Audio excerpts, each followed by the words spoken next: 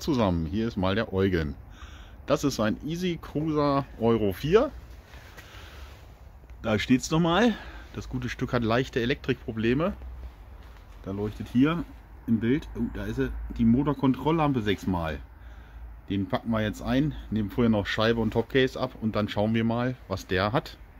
Und dann sehen wir uns später wieder. Bis dahin. Euer Eugen und ja Leute, so sieht der Roller jetzt aus. Äh, unschwer zu erkennen, wir haben die Sitzbank runtergenommen. Ne? Dazu muss das Batteriefach da raus aus der Sitzbank.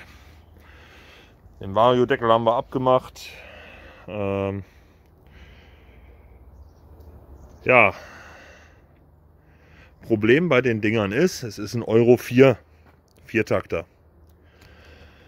Und wenn man jetzt auf die gute Idee kommt, hier oben die CDI, wie es früher war, zu tauschen, damit der Roller ein bisschen schneller läuft,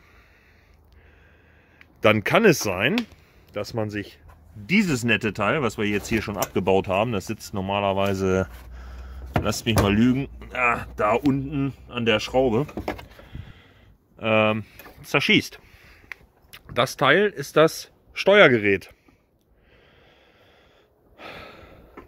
Oder, ich drücke es mal anders aus.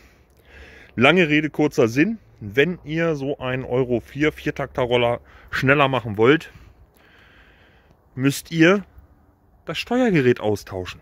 Weil darüber ist der gedrosselt. Nicht mehr über die CDI oder nicht nur über die CDI. Das kommt auch von Fahrzeug zu Fahrzeug ähm, ist das unterschiedlich. Ja?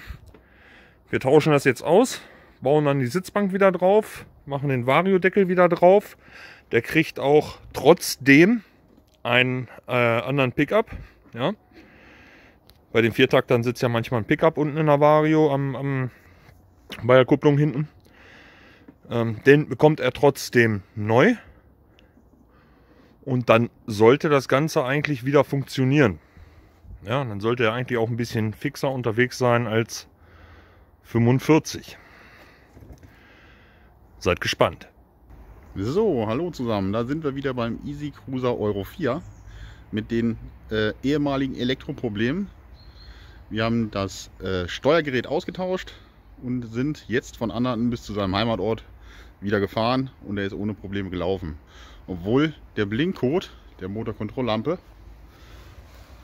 da ist sie wieder, die ist auch aus, darauf hingewiesen hat, dass das in der Variomatik der Sensor war und nicht das Steuergerät. Aber jetzt läuft er wieder. In dem Sinne, viel Spaß dem Besitzer damit von Eugen und Ah, der ist krank, man merkt's. Deswegen muss ich sprechen.